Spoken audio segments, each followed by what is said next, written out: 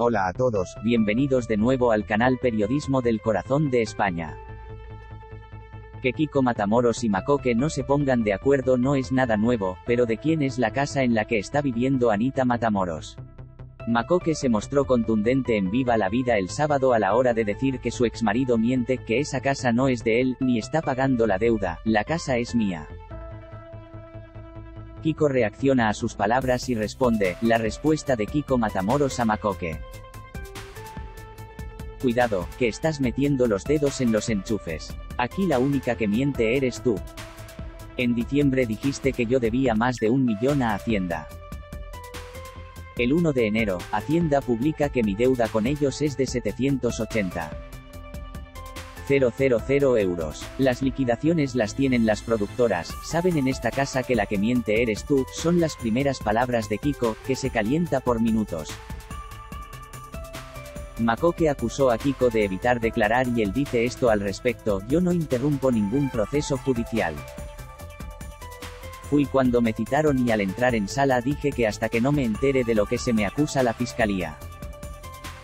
Lo que quiero es saberlo para prepararme. Me acojo a un derecho constitucional de no declarar. La segunda vez que me citan tengo COVID. Pido volver a declarar y está prevista mi declaración para el día 4. Pero, ¿qué pasa entonces con la casa? Yo no he dicho que las casas estén a mi nombre, porque si fuera así no viviríais allí tú, ni tus hijos y ni tu novio. La casa está a nombre de una sociedad tuya, de la que tengo una parte. Como socio voy a pedir la parte proporcional de la explotación que se ha hecho de ese inmueble durante años.